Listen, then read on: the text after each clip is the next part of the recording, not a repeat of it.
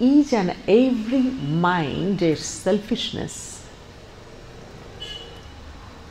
তারই ছায়া দেশে, তারই ছায়া পৃথিবীতে।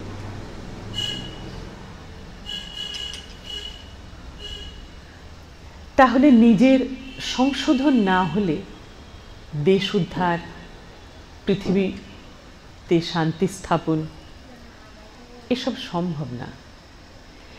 ওই বিরাট ব্রহ্মাণ্ডে পৃথিবীতে, দেশে, তোমার জায়গায়, স্থানে, ঘরে তুমি বিরাজমান। তাই তোমার তুমির অহংকার যতক্ষণ না কম হয়, ততক্ষণ তুমি স্বার্থেও শূন্য তো অনেকটা দূর। তোমার স্বার্থ এতটা কমে না যাতে তোমার হৃদয় খোলে, যেখানে অহং বুদ্ধি ওই জুতো ছেড়ে আসার মতো অহং বুদ্ধি হৃদয়ে প্রবেশ করবে, ওই অহং বুদ্ধি ছেড়ে শুধু বুদ্ধিটা প্রবেশ করবে, অহং ছেড়ে হৃদয়ে প্রবেশ।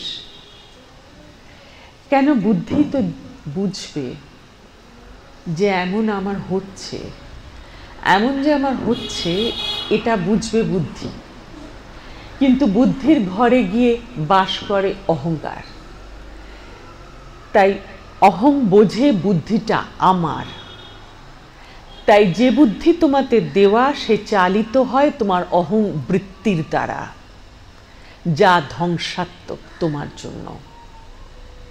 তাই নিউ আর নিয়ার ফিউচারে তোমার কি হতে যাচ্ছে, এ কথা তোমার জানা নেই, সম্ভব না। কেননা তোমার হৃদয়ের দরজা এভাবে খোলেনি, যেখানে তোমার বুদ্ধি, অহং বৃত্তিকে ছেড়ে প্রবেশ করেছে। এতটা উন্নত তোমার মন নয়। তাহলে উন্নত মন এমন স্বীকার করছে তোমার বুদ্ধি, এমন কারোর কথা শোনা বাঞ্ছনীয়? তোমারই ভালোর জন্য? তোমার ফ্যাটাল ফিউচার না হওয়ার জন্য? শারীরিক, মানসিকভাবে তুমি বিপর্যস্ত না হও তার জন্য? এইরমভাবে প্রত্যেকটি মানুষ যারা বুদ্ধিসম্পন্ন, তারা নিজের স্বার্থে কারণে নিজের জীবন বিপন্ন করছে শরীরে এবং মনে।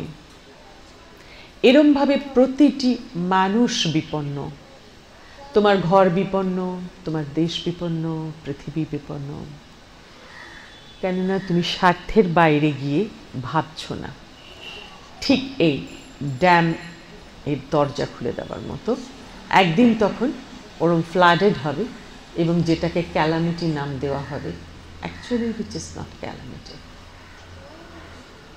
তাই তখন তুমি যতই অন্যের উপর দোষ চাপাও, যন্ত্রণাটা ভোগ কিন্তু তোমাকেই করতে হবে। বিকজ ওটা created by you developed by you তো ওটা তোমাকে ফলীভূত তোমাতেই হবে। তো সাফারিং বাই ইউই হতে হবে।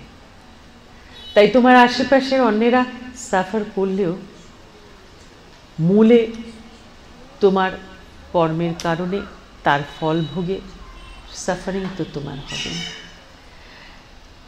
তাহলে প্রবলেমটা স্বার্থের। আর স্বার্থ অহংকারের ঘরে থাকে। তাই বদলাতে হবে নিজেকে।